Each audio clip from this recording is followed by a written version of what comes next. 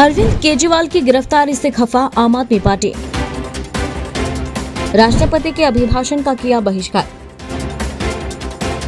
दिल्ली के सीएम अरविंद केजरीवाल को जमानत मिलने ही वाली थी कि ये जमानत सीबीआई की कस्टडी में बदल गई, जिसको लेकर आम आदमी पार्टी ने कड़ा विरोध जताया है।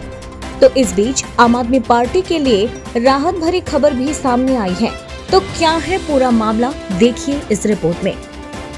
दिल्ली के सीएम अरविंद केजरीवाल की सीबीआई गिरफ्तारी को लेकर आम आदमी पार्टी ने कड़ा विरोध जताया है। विरोध की गूंज संसद में भी सुनाई दी गई।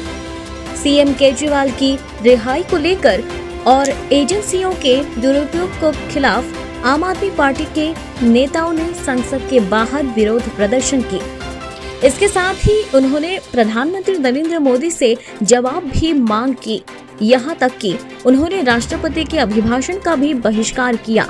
आम आदमी पार्टी ने राज्यसभा सांसद संजय सिंह और अन्य आप नेताओं ने संसद भवन पहुंचकर केंद्र सरकार के खिलाफ जमकर नारेबाजी की। केजरीवाल, जिंदाबाद, तानाशाही नहीं चलेगी जैसे नारे संसद के बाहर सुनाई दिए गए। हाथों में तख्तियाँ लेकर पहुँचे आप नेताओं ने कहा कि केंद्र की तानाशाही नहीं चलेगी और अरविंद केजरीवाल को रिहा करना ही होगा। संसद के बाहर विरोध प्रदर्शन के दौरान संजय सिंह ने कहा, जब उनकी जमानत सुप्रीम कोर्ट से मंजूर होनी थी, तब सुप्रीम कोर्ट से उनकी रिहाई की पूरी संभावना थी।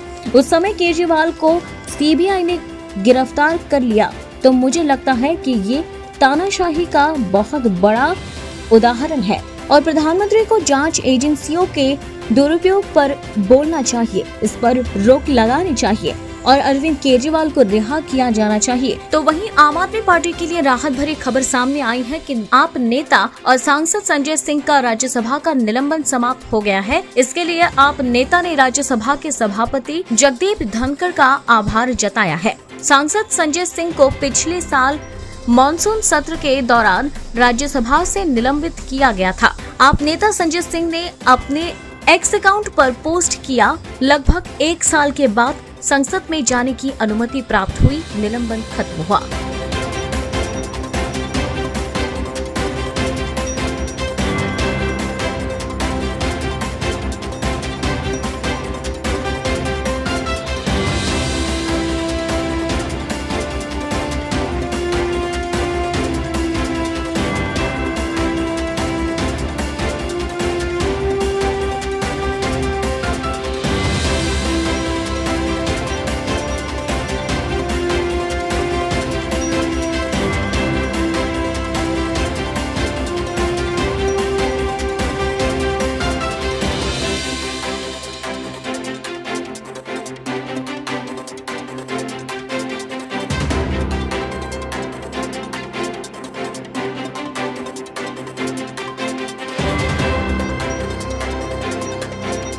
News Report, ID 365.